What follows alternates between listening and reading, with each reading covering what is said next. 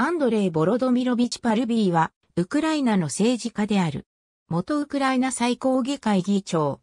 2014年ウクライナ騒乱にて、反政府運動を主導した後、ウクライナ国家安全保障、国防会議書記として任命され、2014年8月7日に辞任するまで務めた。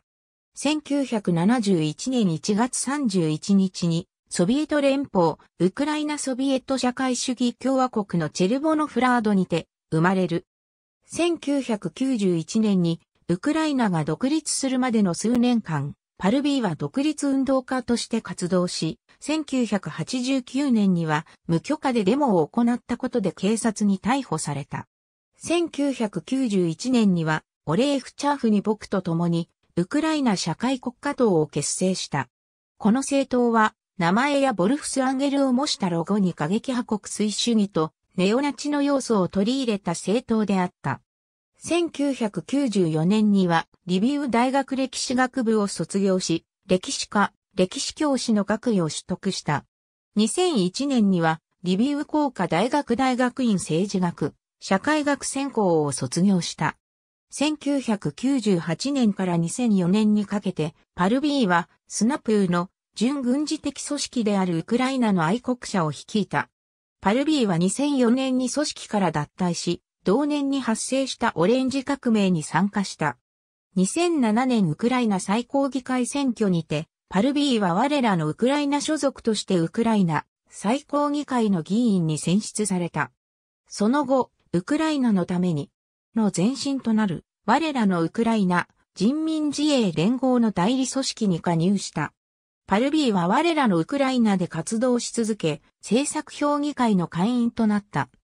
2010年10月に、パルビーは当時ウクライナ前大統領であったビクトル・ユシチェンコが、ウクライナ民族主義者組織のリーダーであったステパン・バンデーラへ、ウクライナ英雄を授与することを決定したことに対して、否定的な反応を示した欧州議会に向け、再考するよう要請した。2012年2月上旬、パルビーは方向性の違いを理由に我らのウクライナから脱退した。2012年ウクライナ最高議会選挙にて全ウクライナ連合祖国支援の無所属議員として再選した。2013年12月から2014年2月までパルビーはユーロマイダンの指揮官を務め抗議運動の中心人物を警備するボランティア、警備隊の幹部として行動していた。その後、パルビーはウクライナ国家安全保障国防会議書記に任命され、2014年6月16日に当時のウクライナ大統領であったペトロ・ポロシェンコによって承認された。NSDC 初期時代、パルビーはウクライナ東部における親、ロシア系の分離主義者に対する反テロ作戦を指示した。パルビーは2014年8月7日に NSDC 初期を辞任した。パルビーは辞任の理由を明かさず、戦時中に私が辞任することに対してコメントすることは容認されないと思われる。前線、特にボランティア大隊を支援し続けるつもりである。と語った。ポロシェンコ大統領は同日、パルビーの解任を承認する判決に署名した。ロシアトゥデイは地元メディアがウクライナ南東部での戦闘の停戦を宣言した後に辞任するよう求められたが、パルビーはこれを拒否したと報じた。2014年9月にパルビーは設立メンバーとして人民戦戦闘に加入し、2014年ウクライナ最高議会選挙にて人民戦戦闘所属として最高議会議員に再選した。12月4日には最高議会副議長に選ばれた。当時アメリカ合衆国国務長官であったジョン・フォーブズ・ケリーと在ウクライナアメリカ合衆国大使であったジェフリー・アール・パヤットと会談するパルビー。2016年7月7日撮影。ボロディーミル・フロイスマンの辞任後、2016年4月14日に最高議会議長に選出された。